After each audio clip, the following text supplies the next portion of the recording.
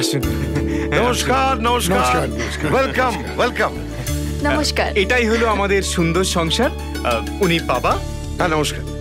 নমস্কার। ইনি বর্দা হ্যাঁ। আর উনি বৌদি। নমস্কার। বলো তো। আয়। ভাড়াটে সবার সাথে পরিচয় করাচ্ছে? বেশ। এই সবাই দাঁড়িয়ে কেন? বসুন বসুন। হ্যাঁ। বসো। গৌরীশঙ্কর বাবু আমার হ্যাঁ। মেয়ে প্রীতি। আপনার মেয়ে তো একবারে লক্ষ্মী প্রতিমা। আমার ছেলে আপনাদের ব্যাপারে সব বলেছে। তা আপনি তো ব্যবসা করেন। আগে হ্যাঁ। আপনার ছেলে কি করে?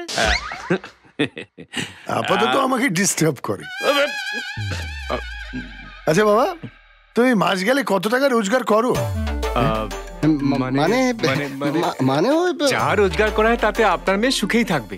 তাছাড়া এই বাড়ি গাড়ি বিষয় সম্পত্তি সবই তো এই বাড়ির বউয়েরাই ভোগ করবে। হ্যাঁ কি বল? হ্যাঁ অবশ্য ঠিক। হ্যাঁ। প্রীতিকে আমাদের খুব পছন্দ হয়েছে। হ্যাঁ। ও বউ হয়ে এই বাড়িতে আসুক এর বেশি আমরা আর কিছু চাই না। না। না কি বলেন বাবা? হ্যাঁ, হ্যাঁ, হ্যাঁ, হ্যাঁ। তাহলে বিয়ের দিনক্ষণ ঠিক করে ফেলি? হ্যাঁ নিশ্চয় নিশ্চয় আরে ছোট হাতি সবাইকে মিষ্টি বলো হ্যাঁ এই তো এই তো। এই এই বেশ আই এদিকে।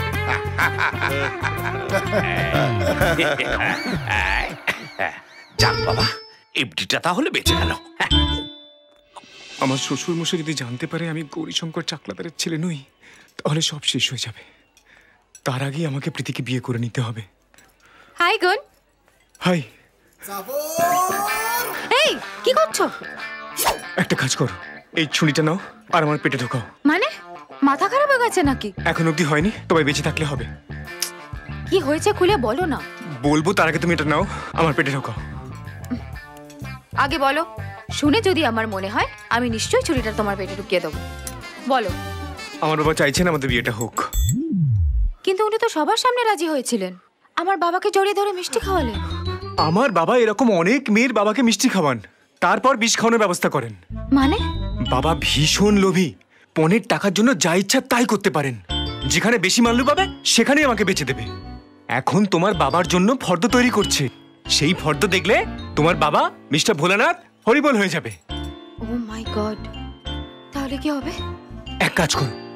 তোমাদের বাড়ি গাড়ি জমি বিক্রি করে সব টাকা আমার ওই বাপের মুখে ছুঁড়ে মারো। তাহলেই আমার বাবা খুশি হয়ে বিয়ে মেনে নেবেন। আর আমার বাবা বিক্রি হয়ে যাবে। বাহ এটা কি করে সম্ভব? তাহলে আমাদের বিয়ে হবে না। আমার মনে হচ্ছে তুমি নিজেই বিয়েটা করতে চাইছো না। না হলে কিছু না কিছু একটা উপায় ঠিক খুঁজে বার করতে। উপায় একটা আছে। কি? আরে বসো না বলছি। বসো বসো। বলো। রেজিস্ট্রি ম্যারেজ মানে সেটা কি করে হবে? দেখো রেজিস্ট্রি ম্যারেজ ছাড়া আমাদের আর কোনো উপায় নেই। শোনো যদি আমাদের বিয়েতে দুটো ফ্যামিলি রাজি হয়ে যায় তাহলে আমরা রেজিস্ট্রি ম্যারেজ করেছি সেটা চেপে যাব। আর একান্তই যদি আমার ওই খচর বাপ পনেরো জন্য ঝামেলা করে তাহলে আমাদের এই ম্যারেজ সার্টিফিকেটটা আমার বাপের মুখে ছুঁড়ে মারবো। ব্যাস! আমাদের বিয়ে মেনে নিতে বাধ্য। কি আইডিয়াটা কেমন লাগল? নট ব্যাড কিন্তু সত্যি মেনে নেবে তো? Hundred percent. পড়েছি কি চাপে বোঝে না যে বাপে। আর ষোলো আনা খাটিয়ে প্রেম খেলছি না তো গেম এ আমার বাংলা প্রেম বিশুদ্ধ বাংলা প্রেম। এ আমার বাংলা প্রেম বিশুদ্ধ বাংলা প্রেম।